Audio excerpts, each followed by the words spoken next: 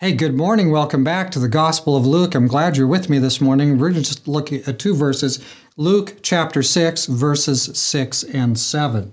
Now it happened on another Sabbath also that he entered the synagogue and taught, and a man was there whose right hand was withered.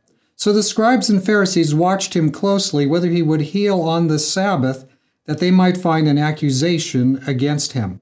Now I hate to leave it there, but we're going to get carry on tomorrow morning with the next thing that happens. But let's just pause for a minute here because right here there's a lesson. Why are you going to church? Why do you enter into the worship of the living God? Why do you do it? Are you doing it? Are you look at what's going on here? The verse 7, the scribes and Pharisees are watching Jesus so that they can find an accusation against him. And some people are going to church, some people are coming to worship looking for faults in other people to to lay hold of, to blame other people to put them down and compare then they can compare themselves to that person and say well i'm a holy person that's a that's a bad person.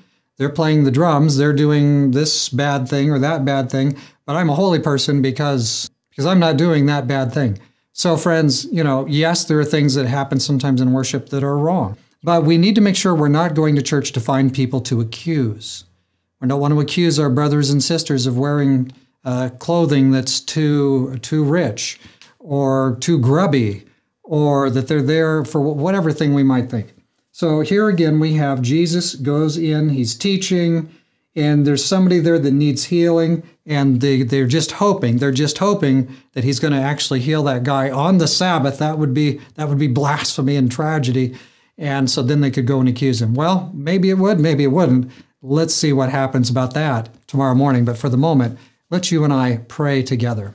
Dear Father in heaven, Help us when we come to worship to keep our eyes fixed on you, Lord, the Lord from heaven.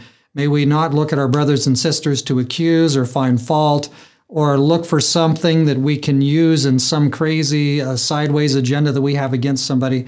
Lord, when we come to church, we're coming to worship you, you. And so, Lord, may we be have our focus on you and not be distracted, and certainly not distracted by crazy side agendas and things that ought to have nothing to do with present truth or the gospel of Jesus. Now, Lord, bless us, we pray, every day as we come to worship you, every week as we come into your presence. Bless us, we ask in Jesus' name. Amen. Friend, may the Lord's blessings be with you, and may you and I come to church or come to the worship with the right motivations, and we'll have the right blessings. God bless you today.